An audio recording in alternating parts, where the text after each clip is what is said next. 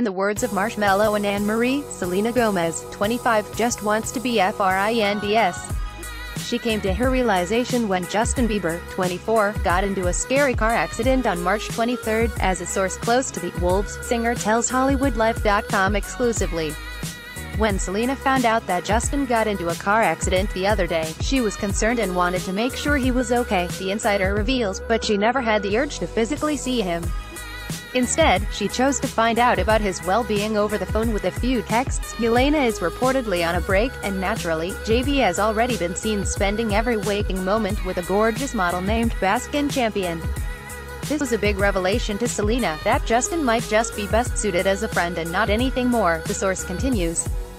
She thinks if she'd still loved him romantically, she would be running to his side, even though the accident wasn't anything serious. A fair point. So will Justin and Selena head back to the friend zone? Seems that way, according to our source. It was definitely a telltale sign that things between the two should, and might, lead down the path of just being friends over anything else, the insider declares.